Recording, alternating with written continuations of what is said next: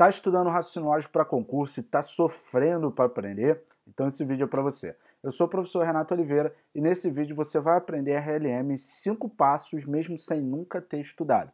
Mas antes de começar, inscreva-se no nosso canal e ative as notificações, porque sempre que tiver um conteúdo como esse, você vai ver e vai vir aqui nos assistir. Olha só, o primeiro passo para você aprender raciocínio lógico é estar tá inscrito no nosso canal, porque todo dia tem vídeo novo aqui. E também baixe o material da aula, assim você entra para a nossa lista VIP, recebe conteúdos exclusivos e participa também de lançamentos de nossos cursos. Então, simbora lá começar aqui comigo. Como aprender RLM em cinco passos, mesmo sem nunca ter estudado. É isso que você vai aprender aqui hoje. Mas, Renato, eu sou um caso perdido. Eu não consigo aprender. Será que esse negócio aí vai servir para mim? Gente, serve para todo mundo. Nós vivenciamos isso diariamente com os nossos alunos, como é o caso aqui da Viviane. Né? Minha gratidão por dois excelentes professores que ensinam de forma clara, objetiva e com foco. Fiz TRT Santa Catarina 2017, só errei duas questões de 10 de RLM, da temível banca FGV. Por causa das três discursivas, não tentei resolver com mais tempo essas duas, mas com certeza teria acertado. Estou muito feliz, pois já fiz outros concursos e o meu desempenho era bom em outras matérias, exceto RLM. Muito obrigada. E aí, perdão, entra naquilo que o método funciona para todo mundo. Basta se dedicar e seguir o método. Show de bola? Viane, muito obrigado aí. Parabéns por esse resultado. Simbora lá. Minhas redes sociais estão aqui. Troca o like, sigo de volta. As do Marcão estão aqui também. Troca like, segue de volta e vamos começar. Mas olha só, eu vou aparecer aqui embaixo para vocês, porque eu quero falar uma coisa com vocês. Povo lindo, primeiro passo, eu falei que são cinco passos. Se você domina esses cinco passos, você faz qualquer prova de raciocínio lógico. Primeiro passo é você saber a tabuada lógica, porque muita gente, provavelmente você já estudou por aí, e mandaram você decorar a tabela verdade. Não, não é por aí, né? não tem nada disso. O que vocês precisam saber na real, é o que? A tabuada lógica. E os conectivos lógicos, eles têm a sua tabuada lógica. Deixa eu separar aqui, que eles têm a sua tabuada lógica. Eu vou botar ela aqui para você, tá bom? Você tem que saber. O que, que a tabuada lógica faz? Faz aquele conectivo ser verdadeiro ou ser falso. Isso que a tabuada lógica faz. Então, aqui comigo. Primeiro conectivo, quem é? É o E e o seu símbolo é o chapéu. Tudo bem? Vou botar todos aqui, tá bom? Primeiro conectivo é o E e o seu símbolo é o chapéu. Como é que é isso? Tudo V dá V. Ou seja, o E só é verdadeiro quando tudo é verdadeiro. O E só é verdadeiro quando tudo é verdadeiro. Só nesse caso, tá bom? Segundo conectivo que eu tenho que saber é o OU tá? Deixa eu separar aqui, vou deixar só a tela para não correr risco de eu ficar na frente, né? Primeiro conectivo é o OU, tá bom? Como é que é a tabuada do OU? Tudo F da F. Essa é a tabuada do OU, tá? Terceiro conectivo que eu tenho que saber é o OU, de junção exclusiva, né? O símbolo é um V com tracinho abaixo. Eu estou te dando como vem na frase, estou falando o nome dele e estou te dando o símbolo também, tá bom? Nesse daqui, como é que é a tabuada? Iguais da F e diferente da V. Tudo bem? O próximo conectivo é o se então, que é o condicional, né? Então, o próximo conectivo é o se então, que é o chamado condicional. Como é que é o conectivo do se então? É a Vera Fischer. Vera Fischer, né, o macetinho para decorar. É a falsa. O que, que é isso? Vera Fischer é falsa. Galera, o C, então, só é falso quando tem V e F nessa ordem. aí a gente brinca que a Vera Fischer é falsa. E o último conectivo que você precisa saber é o C e somente C. C e somente C. Tá? C e somente C é esse daqui.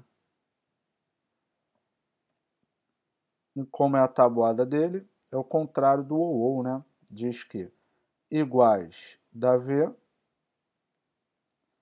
e diferentes da F. Iguais da V, diferentes da F. Show de bola? Então assim, você já sabe todas as todas elas, tá legal? Todas as tabuadas lógicas. Sabendo disso, você consegue resolver as questões. Como, Renato? Vamos lá. Primeiro aqui, você tem que respeitar, ó, ele quer o resultado do x e do y. Vamos lá. Observe a tabela verdade completa apresentada a seguir, em que P, Q e R propos, proposições e cada uma delas das letras x e y substitui os valores lógicos V de verdadeiro ou F de falso. Os valores lógicos substituem corretamente as letras x e y, respectivamente, tem que respeitar a ordem. Aí o que, que você vai fazer? Você vai trazer aqui primeiro, vamos ver a primeira linha. Na primeira linha, aqui você tem a primeira linha e aqui você tem a segunda. Na primeira linha, galera, eu tenho que P é verdadeiro, Q é verdadeiro e R é falso. E aí eu vou substituir aqui, ó, P, então não R e Q.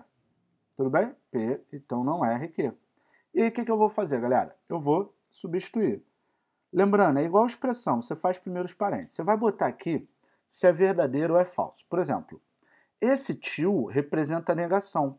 E a negação ela muda o valor. Ou seja, se é verdadeiro, vira falso. Se é falso, vira verdadeiro. Então, ó, eu vejo aqui que R é verdadeiro. A negação de R é falso. Já vou botar falso. Eu vejo aqui que Q é verdadeiro. Qual o conectivo que eu tenho aqui nessa bagaça? É o E. Tabuada lógica do E diz que tudo V dá V. Então, galera, tem tudo verdadeiro aqui? Não. Então, esse resultado é falso. Show de bola? Beleza. Agora, eu vou substituir aqui o P. Ó. P. Simbora. P é o quê? Por aqui, verdadeiro.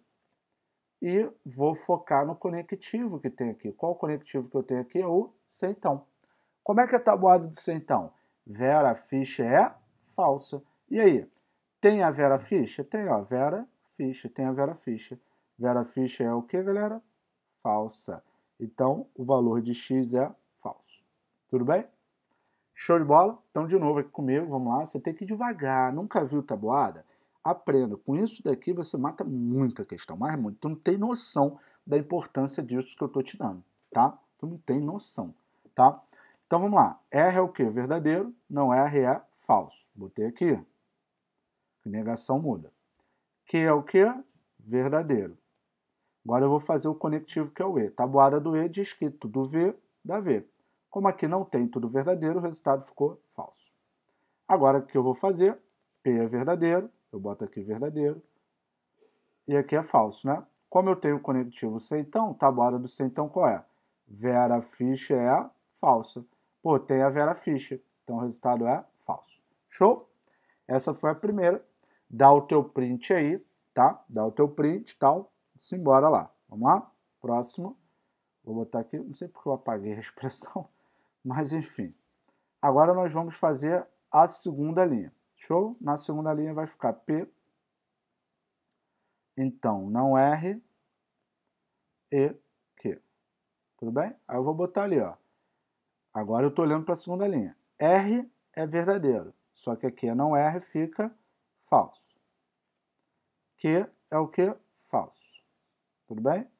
Agora eu foco no conectivo que está aqui. O conectivo que está aqui é o E. Como é que é a tabuada do E? Tudo V dá V. Tem tudo V aqui? Não. Então esse resultado é falso. Aí agora eu vou botar o P aqui, ó. P é o que, galera? Falso. Substituir. P é falso. Agora, qual o conectivo que eu tenho aqui? É o centão, que vai dar o resultado, não é isso? Tabuada lógica do centão. Vera Fischer é falsa. Tem a Vera Fischer aqui? Não. Então, o resultado é verdadeiro. Então, eu tenho que Y é o quê? Verdadeiro. Então, qual é a ordem? F, E, V. gabarito letra C. Maneiro, né? Então, isso é treino, tá?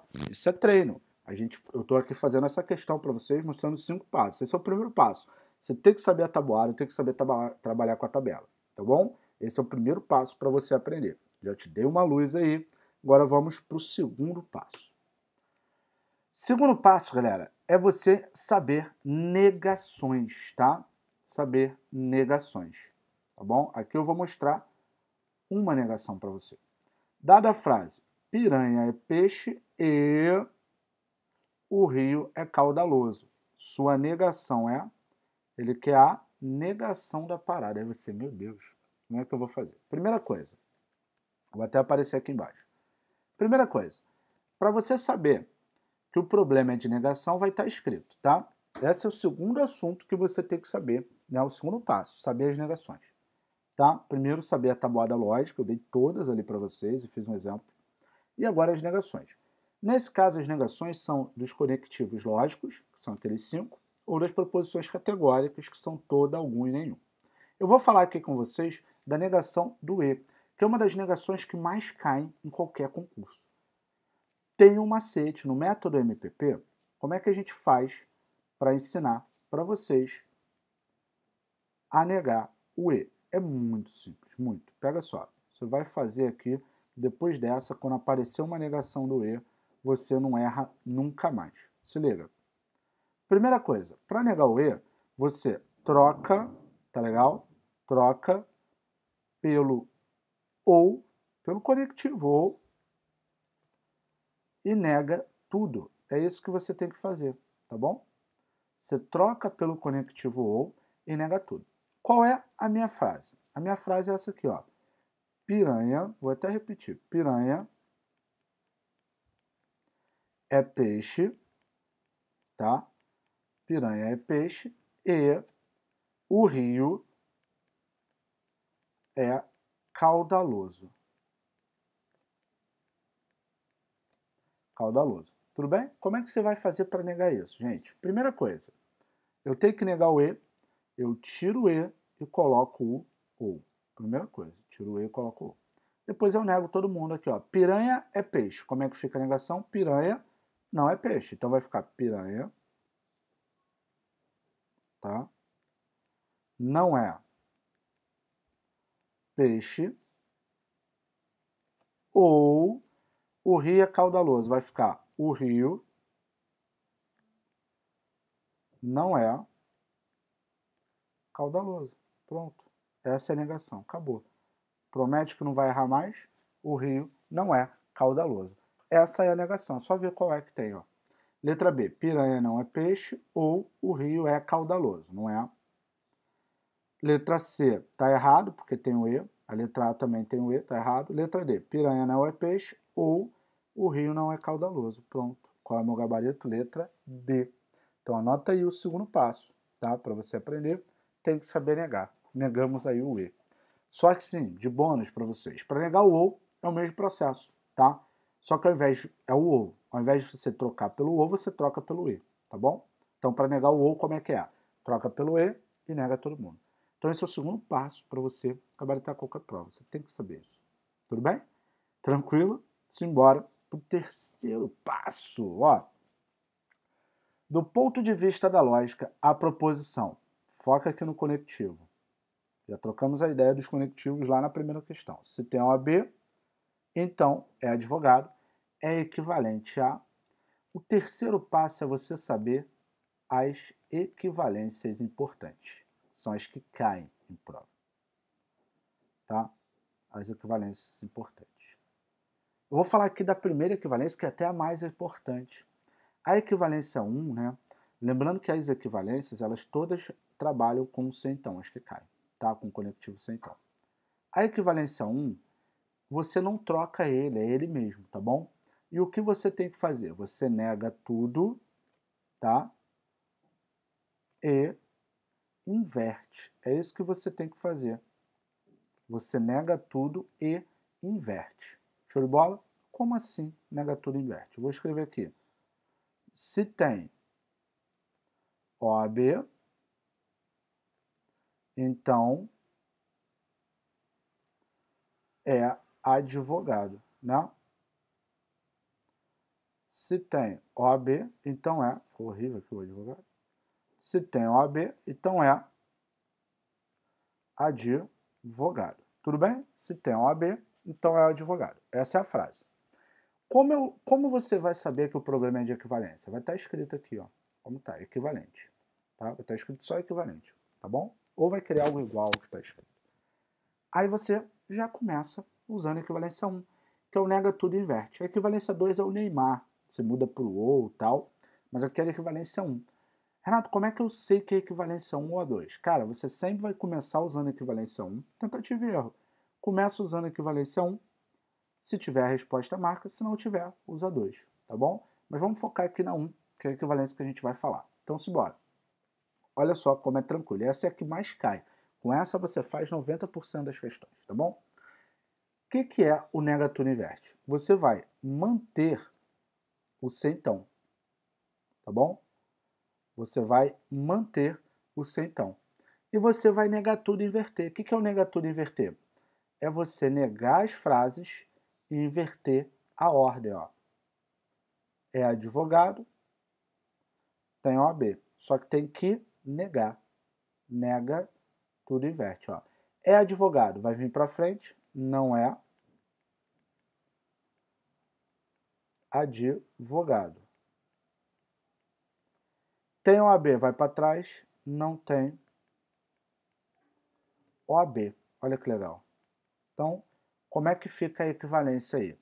Se não é advogado, então não tem OAB. Pronto. Agora é só ver onde tem essa resposta. Letra A, tem OAB ou é advogado? Não é. Letra B, se não tem OAB, não é, porque na frente tem que estar não é advogado. Letra C, se não é advogado, então não tem OAB. Certíssimo. Qual é o meu gabarito? Letra C. Se não é advogado, então não tem OAB. Aprendeu? Com essa, tu faz diversas questões, tá bom? Você pode, quem prefere usar a letra, tanto faz, eu prefiro ir direto na frase, porque a prova, ela te cobra o quê? Frase. Não tem jeito. A prova ela cobra a frase para você. Tá bom? Então, nega tudo e inverte e não erra mais. Estamos combinado? Show de bola então. Então, simbora lá fazer. Esse foi o terceiro passo. Quarto passo. Quarto passo. Análise combinatória é um assunto que cai em raciocínio lógico. Então, você tem que mandar bem também. Tá? Isso tudo tem técnica, tá bom? Quarto passo é mandar bem em análise combinatória. Isso tudo tem técnica. Isso tudo que eu estou te ensinando só é o método MPP. Estou te mostrando um pouco do método MPP, tá bom?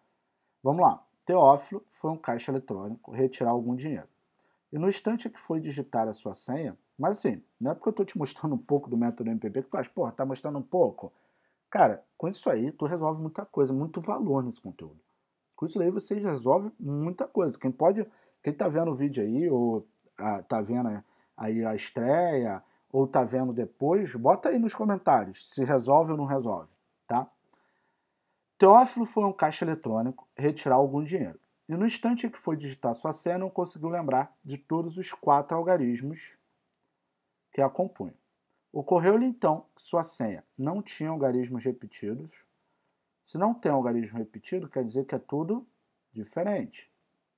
Era um número par se é um número par, quer dizer que termina no número par. E o algarismo inicial era 8. Quantas senhas poderiam ser obtidas a partir do que Teófilo lembrou? Aí você, meu Deus, vamos lá. A senha tem quatro dígitos. Tudo bem? Quatro dígitos. Ok? Primeira restrição. Todos eles são diferentes, que não tem elemento repetido, correto? A segunda restrição é par. Para ser par, tem que terminar num número que é par. Quais são os números que são pares? Vou botar aqui: 0, 2, 4, 6 e 8. Tudo bem? Qual é a outra restrição? O algarismo inicial era 8. Tá entendendo? Eu estou focando na restrição porque esses problemas a gente foca na restrição que ele dá. O algarismo inicial era 8. Então aqui só pode entrar o 8, mais ninguém. Tudo bem? Ele quer saber quantas senhas. Galera, Vamos lá. Aqui ele tem uma possibilidade de escolha, que só pode ser o 8. Agora, como ele falou que são diferentes, o 8 entrou ali. Ele não entra no par. Então tem que riscar o 8. Por quê, Renato? Ué, ele falou que os algarismos são o quê? Diferentes. Então se o 8 está lá no primeiro, ele não pode estar tá aqui atrás. Então para cá pode entrar o 0, o 2, o 4 ou o 6. Ou seja, eu tenho quatro possibilidades lá atrás. Show de bola? Tranquilo?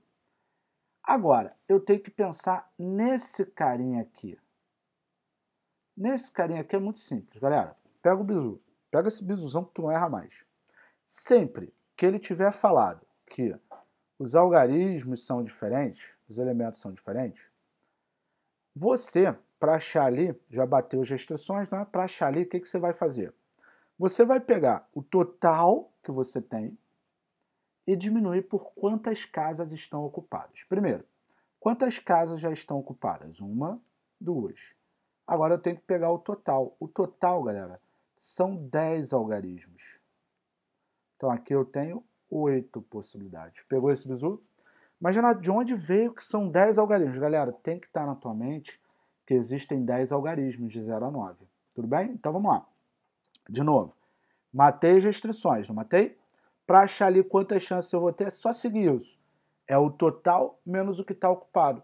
Você não tem duas casas ocupadas ali, então 10 menos 2, 8. E aqui eu vou ter 7, porque eu tinha 3 ocupados. Multiplica geral, essa conta dá 224. Qual é o meu gabarito? Letra A. Muito bom, né? Análise combinatória na matemática, Renato, é mas reparou que é raciocínio purinho, por isso que eles colocam nas provas de raciocínio lógico, porque é raciocínio purinho. Show? Maravilha? Então simbora lá fazer a próxima. Ó, outro assunto que cai direto, cai direto, probabilidade, tá? Resolver questão, galera, é uma habilidade. E como toda habilidade, ela é treinável. Então você tem que treinar. Se você treinar, você consegue. E, óbvio, seguir um método. Tá? O método MPP, eu, a gente otimiza o teu tempo, mostrando o que você precisa. Aqui eu estou te dando esses cinco passos. Agora nós vamos para o último passo, que é a probabilidade. Tá? Em uma caixa, há quatro cartões amarelos, seis cartões vermelhos, foram retirados aleatoriamente dois cartões da caixa. A probabilidade de os dois cartões serem o quê? Vermelhos. É D. Ele quer a probabilidade dos dois cartões serem vermelhos. Aí você, ai meu Deus, como é que eu vou fazer isso, Renato? Probabilidade dos dois serem vermelhos, como é que eu faço? Calma, respira fundo, segura o tchau. Vamos lá. Primeira coisa que você tem que saber sobre probabilidade. Probabilidade para você encontrar a probabilidade, você deve fazer isso daqui. Ó. Ah, casos, eventos. Gente, método MPP, para ser prático. Probabilidade. Probabilidade é o que eu quero sobre o total. O que eu quero, eu vou ver quantas chances tem para acontecer o que eu quero e dividir pelo total. Show de bola? Eu vou ver quantas chances tem para acontecer o que eu quero e dividir pelo total, sempre, tá? Segunda coisa que eu tenho que saber aqui, galera. A regra do E você multiplica, tá? Regra do E você multiplica. Você sabe isso, você mata muita questão. Agora vamos ver essa questão com isso que eu acabei de ensinar. Se liga. Ó, amarelos. Amarelos são quatro vermelhos são 6, separa o total, porque a probabilidade você vai precisar do total. Total são 10 que ele contou. Show de bola? Agora, pessoal, agora, se liga. Ele quer, vai tirar 2, e ele quer a probabilidade dos dois serem vermelhos. Então ele quer do primeiro ser vermelho e do segundo ser vermelho. Opa! Quem é que apareceu aqui, galera? O E. Quando é E, a gente multiplica. Maravilha? Quando é E, a gente faz o quê? Multiplica. Quando é E, a gente faz o quê? Multiplica. Então, eu vou achar a chance da primeira ser vermelha e multiplicar da segunda ser vermelha. Então, simbora lá Vem comigo. Primeira ser vermelha, galera. Quantas vermelhas eu tenho? 6, num total de 10. Vezes a segunda ser vermelha. Galera, quando eu vou a segunda vez, quantas vermelhas eu tenho? 5, num total de 9. Renato, porra, não entendi. Vamos lá. Quando você vai na caixa meter a mão a primeira vez, você tem 6 bolas vermelhas, um total de 10, correto? Agora, quando você vai a segunda vez meter a mão, você tem seis vermelhas? Não, porque um já saiu. Um cartão já saiu.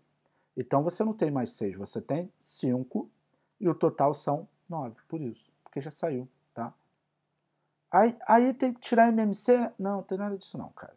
Multiplicação de fração, você multiplica o de cima, multiplica o de baixo, dependente da quantidade, tá? 6 vezes 5 é 30, 10 vezes 9 é 90 corta o zero e divide aqui, por favor, por 3. Ó. Tuf, tuf. 9 divide, 3 dividido por 3 é 1, 9 dividido por 3 é 3. Então, quanto dá essa bagaça? 1 terço, qual é o meu gabarito? Letra B de bola. Show de bola, show de bola, show de bola. Maravilha, né? Bem legal. Então, com esses cinco passos, se você seguir, eu tenho certeza que você vai estar na frente de muita gente. Agora, esses cinco passos são um caminho para você, tá? Mas, para você otimizar o seu tempo, você precisa de um passo a passo. De um, um passo a passo onde as negações você aprenda todas, de uma forma assim que você vai olhar e vai fazer as questões, vai resolver, e com muitos casos de sucesso que garantem que o método funcione. Para isso, nós temos o nosso módulo completo de raciocínio lógico.